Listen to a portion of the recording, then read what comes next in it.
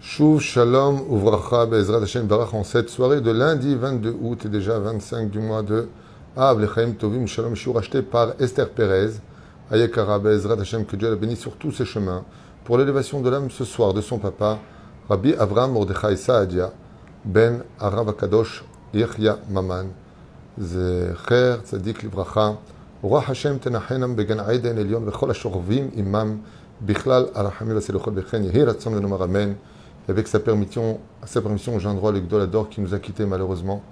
Une grande déchirure au sein du peuple d'Israël, Rabbi Shalom Cohen, Zecher Tzadik qui euh, vient d'être enterré euh, ce soir donc en Israël, et qui nous a quittés. N'oublions pas que la mort d'un tzaddik fait la capara de la génération si euh, on le regrette, si on pleure. La perte de quelqu'un qui était un Torah, un Sefer Torah vivant, et qui était très connu pour son amour des étudiants en Torah, particulièrement. Un homme dont le Rav Ovadia avait dit tout ce qui sort de sa bouche est considéré comme si que ça sortait de la Shechina elle-même. Et Bezrat Hashem, qu'on n'entende que de bonnes nouvelles pour vous tous. Santé, prospérité, shlom bait, bonne éducation, tous les bonheurs du monde chez vous, Bezrat Hashem, par le mérite de cette étude qui a été achetée pour l'élévation de l'âme de ce tzaddik Rabbi Abraham Mordechai Saadia ben Arav Yachya Maman. Alors ce shiur-là, je l'aime beaucoup puisque c'est la suite du shiur qu'on vient de faire d'une certaine façon, qui euh, va relever un petit défi sympathique. Vous savez que dans la paracha de Réé, on nous parle des animaux purs et des animaux impurs. Donc on nous parle aussi, attention, j'ai mis devant toi la bénédiction et la malédiction, les sujets qu'on a déjà vus ensemble les années précédentes, qui sont sur le site toratraim.net, que je vous invite grandement à les regarder, pour ceux qui aiment ma façon d'enseigner, uniquement.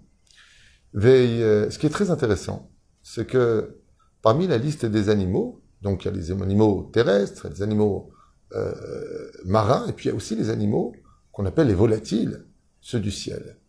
Et bizarrement, dans la liste des animaux qui volent, eh bien, la Torah va nous énumérer leurs noms.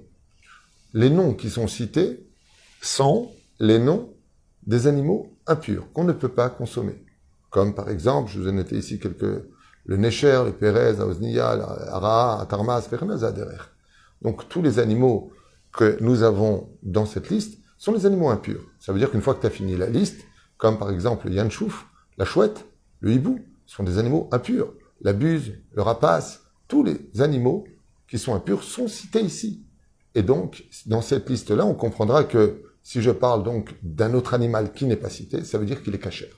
Donc la Torah va être très minutieuse de nous donner la liste de ce qu'il y a de plus court pour qu'on gagne du temps dans le service divin à pratiquer ce qu'il faut faire.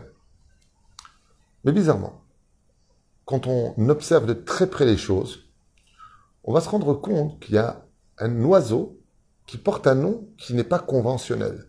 Par exemple, quand je dis l'aigle, ben, c'est l'aigle. Quand je dis le faucon, ben, c'est un faucon. Quand je dis par exemple une buse, ben, c'est une buse. Quand je dis par exemple un animal quelconque, la chouette, ben c'est la chouette. Mais l'autruche, par contre, la chassida, c'est la chassida. Mais l'autruche, c'est appelé Bat Ya'ana. L'enfant de l'autruche. On ne dit pas l'enfant de l'aigle, l'enfant de la buse. Bat, en hébreu, veut dire la fille. Dans le cas, comme c'est Ya'ana, ça se prononce au féminin, on dit Batiana, qui veut dire l'enfant de l'autruche. Et au sein, je pose la question en disant, mais pourquoi dans la liste des animaux qui sont des volatiles, on nous parle de l'enfant de l'animal, alors que dans la liste de tous les animaux, on ne dit pas le lionceau, on dit par exemple le lion, on dit la girafe. Girafe, c'est un animal cachère en l'occurrence. On ne dit pas le bébé de la girafe, sauf lui, lama. Pour illustrer ça, on va essayer de comprendre pourquoi dans la liste de la Torah, c'est l'enfant de l'autruche qui nous est interdit. Pourquoi? Est-ce que ça voudrait dire que les parents seraient permis? La réponse est non, car le nom de l'autruche s'appellera de toute façon Batiana. On ne peut pas l'appeler autrement. On va essayer de comprendre pourquoi et on va tirer une très très grande leçon de morale. Écoutez bien cette histoire avec le Chafetz Chaim. Vous savez qu'entre la Première et Deuxième Guerre mondiale, l'Europe s'était extrêmement appauvrie. Et les pays de l'Est crevaient de faim. Ils n'avaient plus de quoi se vêtir, ils avaient du mal à se chauffer.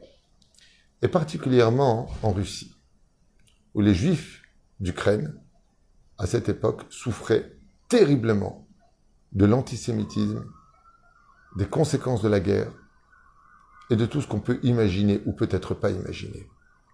Mais voilà que dans, un, dans une des maisons juives, pour la bar mitzvah de leur fils, eh bien les parents n'avaient rien à offrir aux invités. Ils étaient tous arrivés. Puis voilà que le père a dit, écoutez, euh, ce que je peux vous proposer éventuellement, ben pour le repas, c'est un tout petit peu de miche de pain à chacun, une tranche de pain avec du beurre. Parce que j'ai rien. Il faisait froid dans la maison. Et quand l'enfant s'est levé pour faire son discours de bar mitzvah, il a dit, après avoir fait un joli Dvar Torah, parce qu'il étudiait en yeshiva, il étudiait au Talmud du, du, village dans lequel il habitait, il a dit, dans le respect des parents, il y a une grande mitzvah de soutenir nos parents.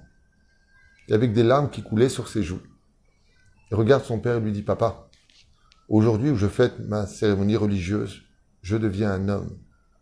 Et en tant que tel, voyant tes mains tellement remplies de souffrance pour nous nourrir, alors que tu n'y arrives qu'à peine, j'ai décidé, en tant qu'homme, de quitter la yeshiva pour aller travailler et te soutenir pour que tu puisses te reposer et que toi aussi tu ailles peut-être un peu étudier. Le père, très surpris, regarde son fils et lui dit, Mon fils, moi je travaille pour que tu étudies la Torah. Et toi, tu veux sortir de la Torah pour me soutenir dans mon travail et, m'aider à nourrir toute la famille? Il lui a dit, c'est pas une décision que ni toi ni moi nous pouvons prendre. Tu sais ce qu'on va faire? Demain matin, on prendra la charrette et on ira chez le Gdolador.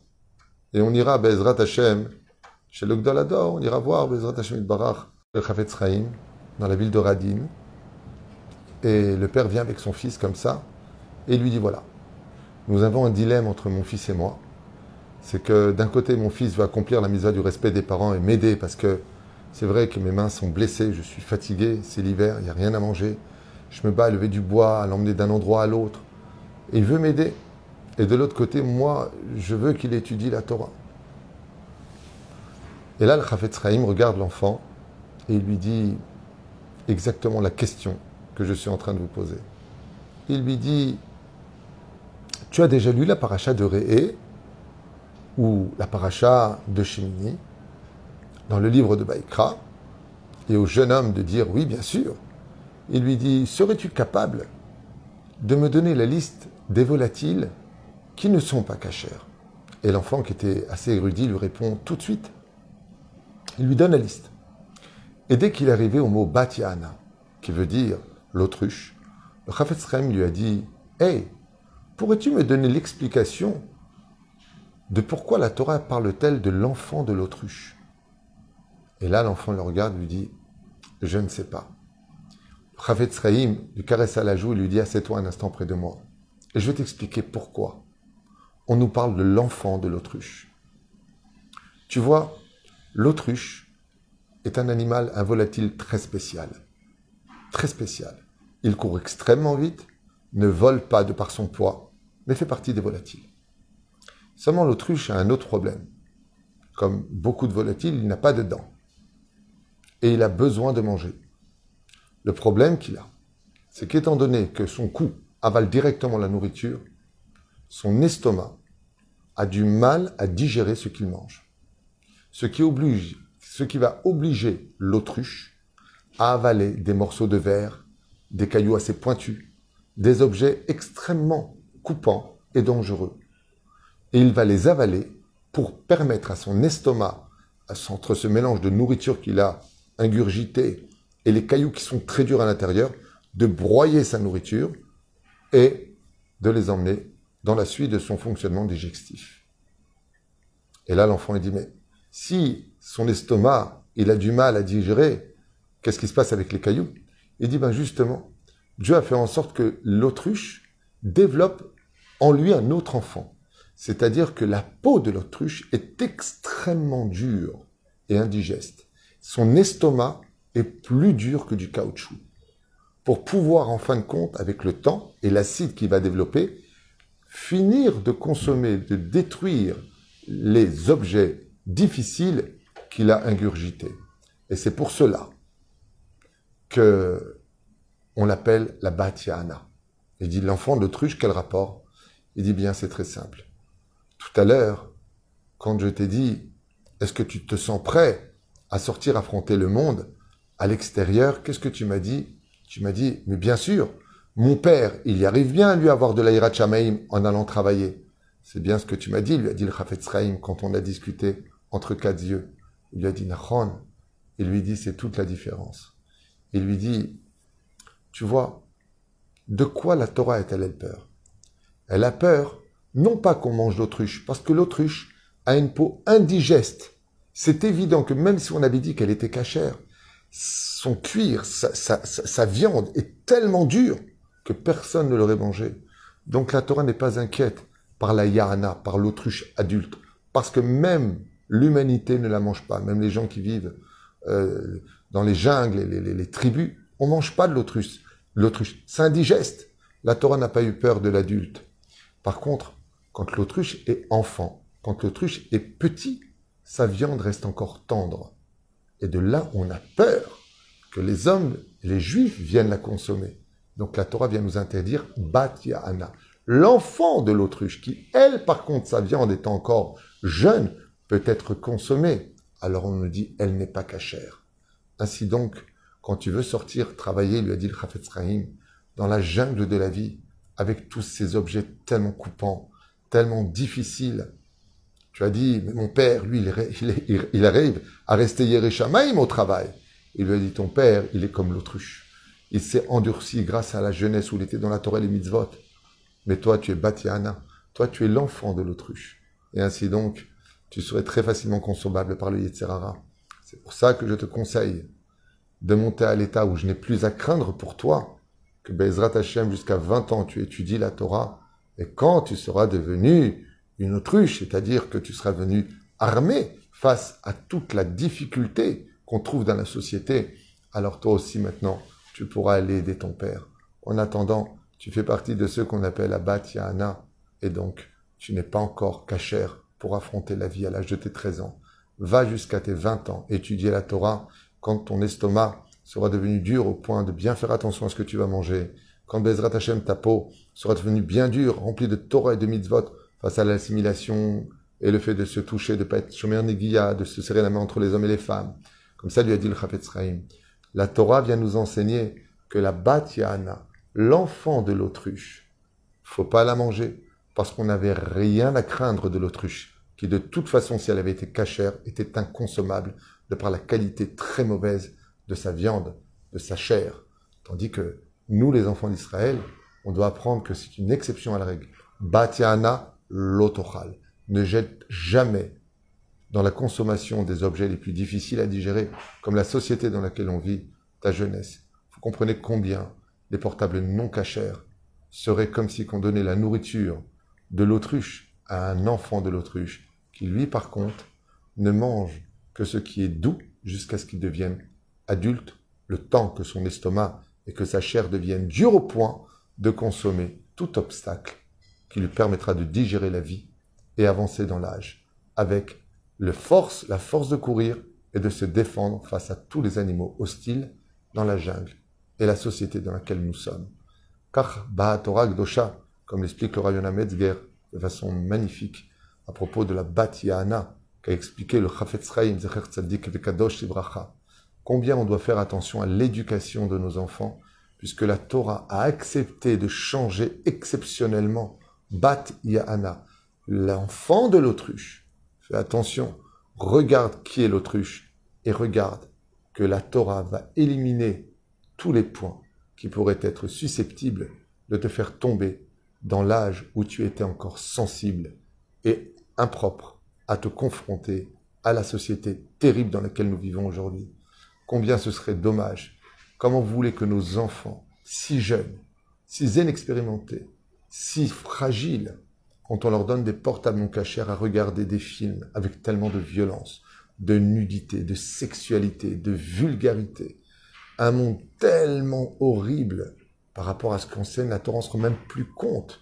Quand il regarde, par exemple, aujourd'hui, je vois même que dans les réseaux sociaux, les gens y mettent de façon horrible.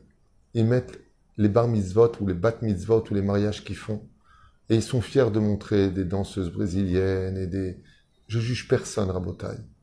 Mais tu sais que c'est mamache assour. Tu sais que c'est ça la faute du Vaudor. Comment on peut mettre dans les réseaux sociaux, regarder la bar mitzvah, le mariage, et c'est des boîtes de nuit que tu montres? Ça s'appelle pas un mariage, ça s'appelle pas une bar mitzvah.